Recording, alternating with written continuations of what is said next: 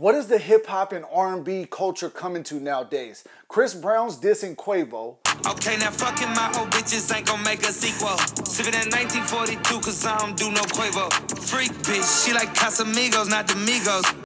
J. Cole, Kendrick, all these guys going at it, and Drake.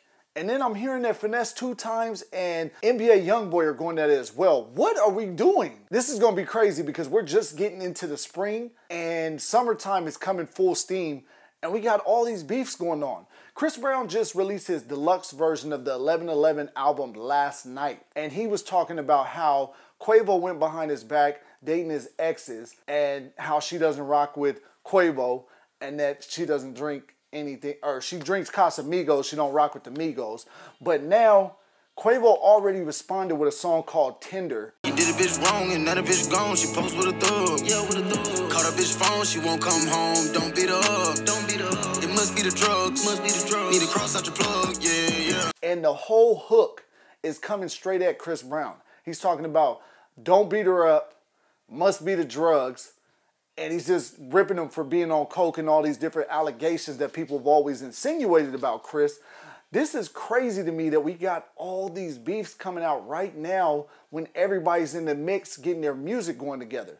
Like, is there something in the water that I don't know about? Because I would have never expected Chris Brown and Quavo to go at it, or J. Cole and Kendrick. Drake and Kendrick, I, I could expect that.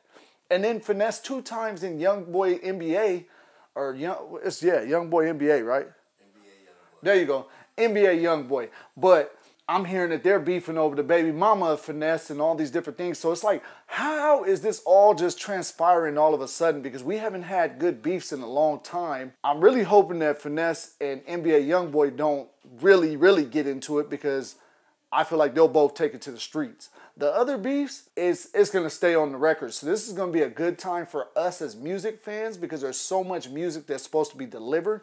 And Drake might even be popping out tonight when the Metro Boomin and Future, we still don't mess with you, is coming out. And with the Metro Boomin and Future, we still don't trust you album coming out tonight. They're saying that Drake might be dropping his disc to Kendrick Lamar and overshadow that album. Do you guys think that it will overshadow that album? I don't know. But this is crazy. I'm excited for where music is headed. This is gonna be a good, like, this is like heavyweights. Almost like if we had prime Muhammad Ali going against a prime Mike Tyson. Who the heck wins the fight? We don't know. But hey, guys, stay tuned. I'll be providing reviews as they come down the pipeline. Thanks, Splashers, for watching. Catch you on the next one.